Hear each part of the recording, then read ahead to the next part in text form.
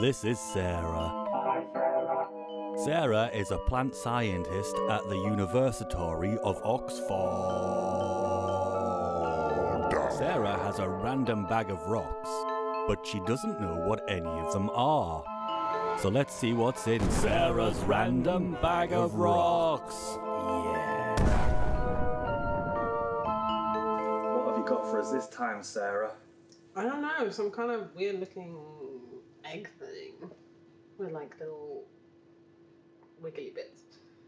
Wiggly bits. Can you remember where you found it? Somewhere in the UK. Definitely, okay. Because it does look like it's got chalk on it, and it looks like chert, which you'd find in the southeast England, where they call it flint, just to be different.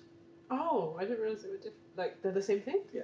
Oh. The rest of the world calls it chert, and in the southeast of England, chert that you find in the chalk, chalk is called flint. Mm, okay. Yeah, so that's what the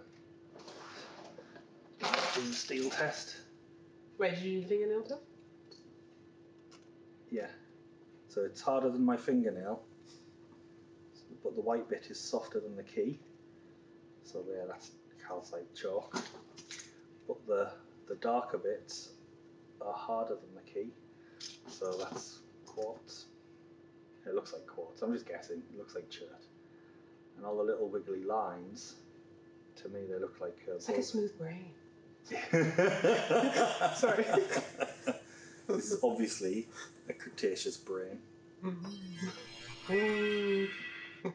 So I think all the little wiggly lines are from uh, infilled fossilized burrow network. So you had something on like creatures burrowing through the seabed, and as they were burrowing and eating the, processing the sediment, they'll have been pooping. And So it's tra- poop trails. poop trails, yeah. A lot of the creatures, if you look, there's like there's like little uh, pellets in them. So they use the pellets to like as bricks. They're, they're poo bricks. Oh, okay. but and because of the chemistry of the carbonate environment from the the chalk, it's very alkaline. So all the acid things tend to collect areas where you've got uh, yeah acidic conditions, like a poop-filled burrow. So that's what you've got there. It's a, a chert nodule. It's got loads of, and the chert nodule is probably like a bigger burrow or like a, a piece of organic matter, like a big, big, a big poo or like a bit of lobster or something, or sponge. And that's probably why they're all burrowing in this area to get their organic matter. Mhm. How fascinating. Oh, do you know what I haven't done?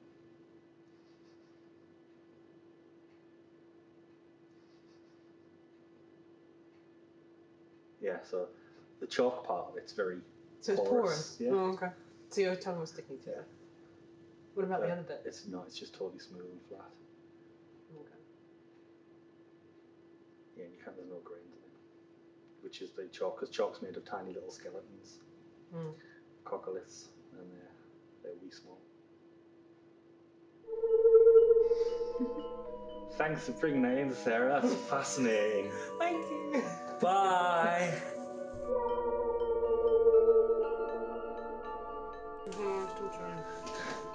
Please edit that bit. Definitely edit that bit